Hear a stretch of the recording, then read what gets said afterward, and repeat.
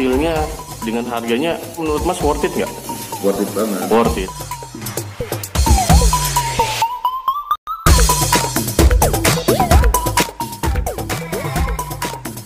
Udah enam bulan. Oh sudah sudah enam bulan ya. Berarti ini kontrol yang keberapa nih kak? Yang ke enam kali. Gimana nih rasanya?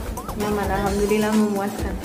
Pesan dan kesannya kak untuk dokter Wawan Pelayanannya oke. Pokoknya mantep.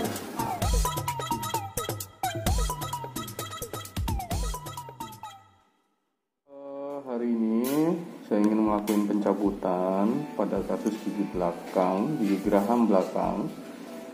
Nah, sebenarnya ini adalah bukan indikasi pencabutan, tapi atas permintaan pasien gigi ini ingin dicabut. Pasiennya itu sedang hamil 5 bulan. Nah, yang harus diketahui pada pencabutan atau tindakan gigi yang diperbolehkan untuk pencabutan adalah usia kehamilan trimester 2 atau di bulan keempat, kelima, dan keenam. Kebetulan ibunya ini sudah di bulan kelima, jadi aman untuk dicabut.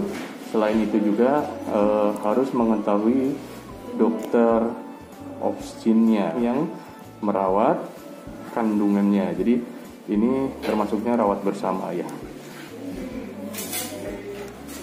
Jadi saya akan lakukan anestesi pada bagian sini, bagian bukal.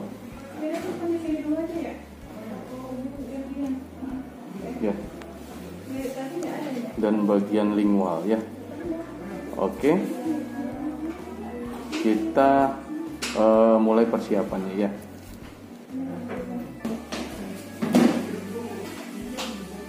Oke, kita mulai. Tahap awal itu mensterilisasikan daerah sekitar ya.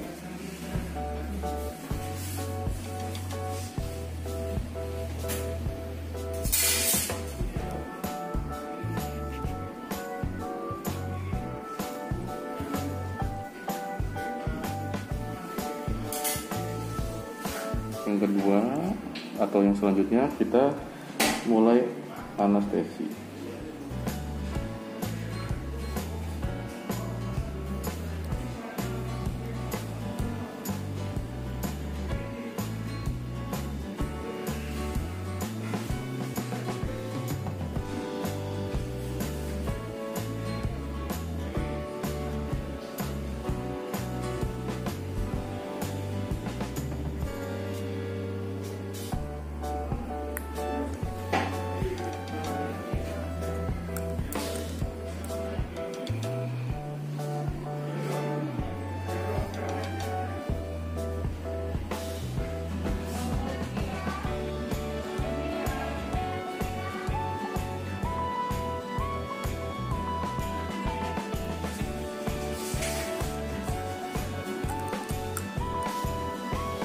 Oke, setelah ini kita nunggu sampai ini benar-benar terbius. Ya, beberapa menit.